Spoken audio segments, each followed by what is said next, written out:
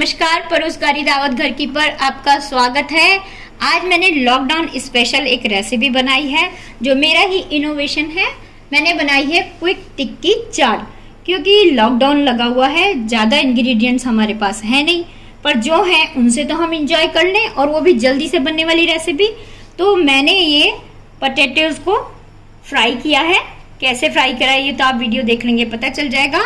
Crispy fry किया है, और दही लिया है, ग्रीन चटनी ली है और इमली की चटनी ली है। तो ये तो ज़रूरी ही है चाट में।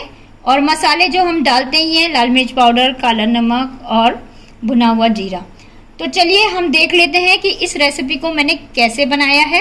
आप चाहें तो इसके अंदर सेव, नायलॉन सेव भी रख सकते हैं, प्याज काट के डाल सकते हैं, पर मैंने इसको बहुत जल्दी बनाने के लिए इस तरीके से बनाई है। तो चलिए शुरू करते हैं recipe lockdown special quick tikki chaat बना रहे हैं हम।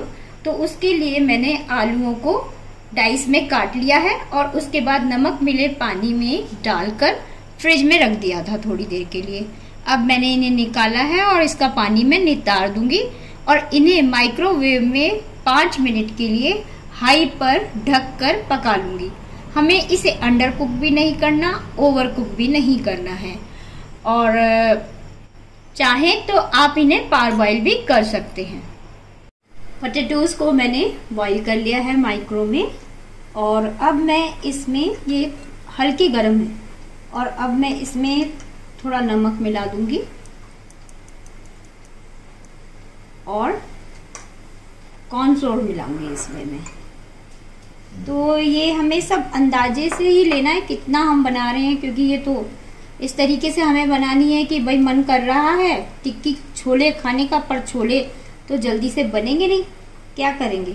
तो इसलिए ये जल्दी से हमें बनानी है तो अपने हिसाब से हमको इसमें ये सब कुछ मिलाना है। इसको एक मिक्स दे देते हैं हम। और अब देखिए हमें इसमें क्या करना है। कॉर्नफ्लोर अच्छे से मिला लें? अब ये जो पटेटोज वेजीज है अपने, इनको हम प्रेस करेंगे हथेली से। हल्का हल्का। ये देखिए, इस तरीके से हम इनको प्रेस कर लेंगे और प्लेट में रखते जाएँगे।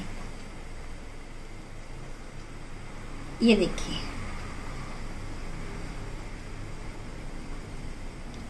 फ्लैट करते जाएँगे और रखते जाएँगे। सारे रख करने के बाद हम इन्हें फ्राई करेंगे। तो मैं ये सब कर लेती हूँ। कुकिंग ऑयल मैंने गरम करने रख दिया था।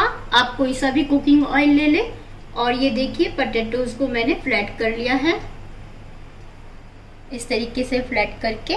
और अब हम इन्हें मीडियम टू लो फ्लेम पर फ्राई करना शुरू करेंगे। फटाफट फटाफट डालते हैं। मुझे फ्लेम ज़्यादा लग रहा है तो मैं गैस को बंद कर रही हूँ अभी।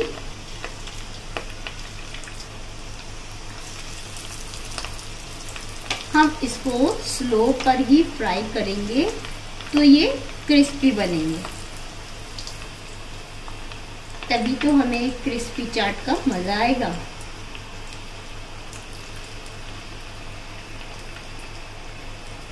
वेजिस मैंने सारे डाल हैं।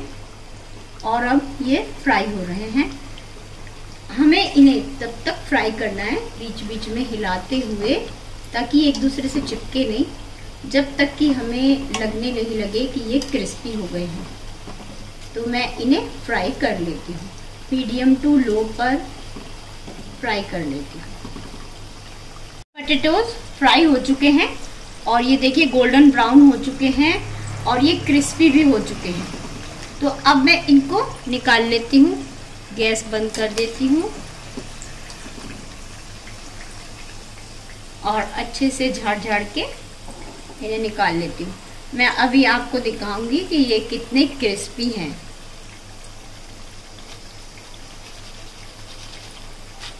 आप साउंड सुन रहे ये देखिए।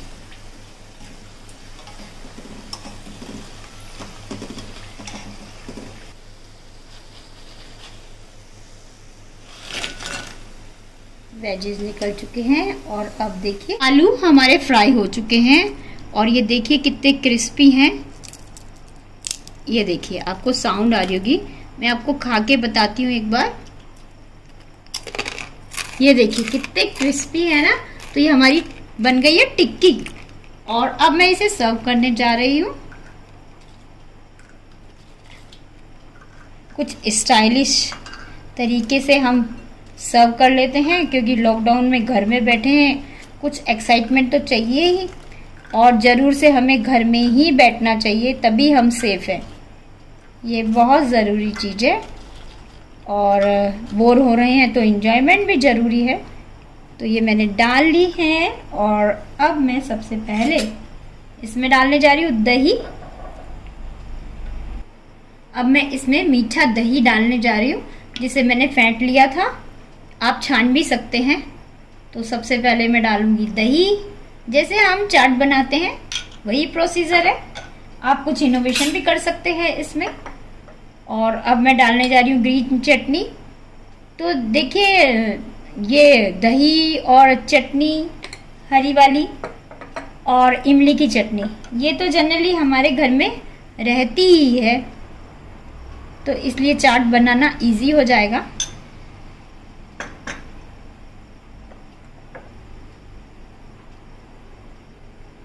आप जितना दही खाना पसंद करें, उतना खाइए।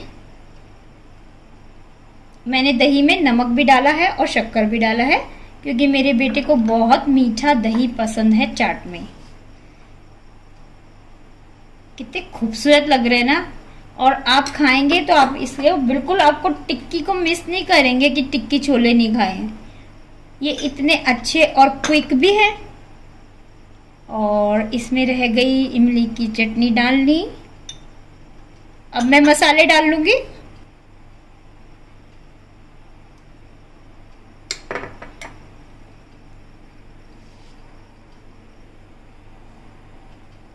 सबसे पहले ब्लैक सॉल्ट काला नमक, और ये उंगलियों से डालना ही ज़्यादा अच्छा रहता है, क्योंकि इसमें जो जगह जगह पे जो टेस्ट आता है ना, वो बहुत ही अच्छा लगता है। भुना हुआ जीरा, जो सारी चाट की जान होता है, और लाल मिर्च पाउडर। जितना आप खाना पसंद करें, उतना डालें। हाँ मैं पुदीने की पत्तियाँ लेके आती हूँ। पुदीने के पत्ते से मैं इसे गार्निश कर देती हूँ। और पुदीने का टेस्ट भी बहुत अच्छा आएगा। तो ये हमारी बन गई quick tikki chaat lockdown special recipe. तो इसे आप ज़रूर बना कर देखें और मुझे कमेंट में बताएँ आपकी चाट कैसी बनी, कैसी लगी। थैंक्स फॉर वॉचिंग जय हिंद।